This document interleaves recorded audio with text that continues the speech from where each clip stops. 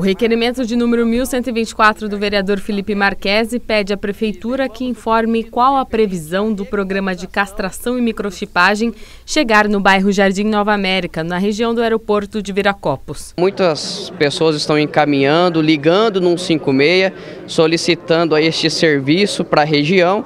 Nós sabemos que tem muitos cachorros na rua, muitos animais, né? E nós queremos que este programa de castração de animais e da microchipagem seja realizado em nossa região uma ação que é de bastante importância, né? Que é também até de saúde pública, né? O sistema de microchipagem, cadastramento e castração de animais foi desenvolvido pela Secretaria do Verde, Meio Ambiente e Desenvolvimento Sustentável em 2015. O serviço não tem custo. Nós queremos informar toda a população, né, divulgar a data que será nesta realização dessas atividades na região, para que toda a população possa participar de uma forma bastante aí ampla para toda a região de Viracopos.